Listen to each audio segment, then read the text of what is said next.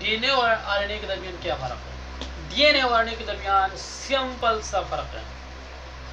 DNA किस चीज़ का मुखफ है और आरएनए की चीज़ कि डीएनए डिऑक्साइबोन्यूक्लिक का मुखफ है, आरएनए राइबोन्यूक्लिक का मुखफ है, और डीएनए कहाँ पर पाया जाता है? वो जो आरएनए कहाँ पर पाया जाता है? डीएनए जो है वो क्रोमोसोम जीन के अंदर पाए जाते हैं, बल्कि जो आरएनए है वो क्रोमोसोम जो क्या ऑटोसोम्स में, यानी कि सॉरी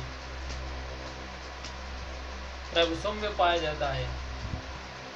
और आरएनए जो क्या करता है पॉलीपेप्टाइड सिंथेसिस काम किया जाता करता है, बल्कि डीएनए एक वरासती मादे के तौर पर अमल करता है। और एक आरएनए मालिक्यूल में राइबोस शुगर और यूरेसिल पाए जाते हैं, बल्कि डीएनए मालिक्यूल में राइबोस शुगर और थायमिन पाए जाते हैं।